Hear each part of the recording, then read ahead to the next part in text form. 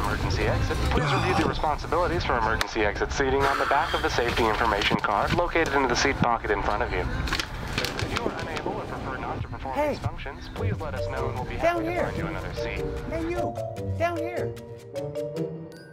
How's the flight? We haven't taken off yet. Good. Well, let me give you a few airline etiquette tips to keep everyone happy.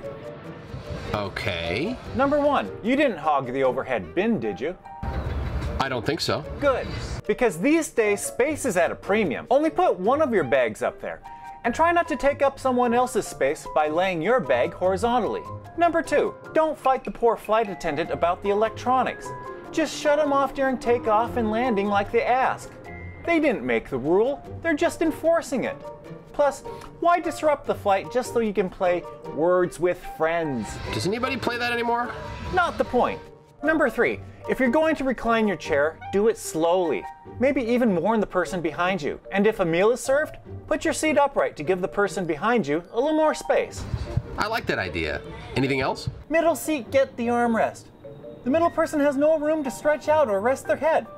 The least you can do is give them a little arm space. And the final tip I'll give you don't stink. Don't force a conversation with anyone that isn't interested. And if you get up for any reason, do it at a convenient time, not when everyone just put their trays down to eat something. Hey, thanks. You must see a lot from the back of a seat. You should see what the motion sickness bag has to go through. If you've got any tips or stories, send them our way. Text us at 206 448 4545. Everybody has a travel pet peeve. On our Facebook page this morning, some of you weighing in. Alex tells us, I hate armrest hoggers. So do I, Alex. Also, William says, long daily bus rides with This Is My Space invaders. So those are some pet peeves. In our next half hour, there's actually entire websites devoted to shaming passengers, doing weird stuff on airplanes. It could be you. Back to you.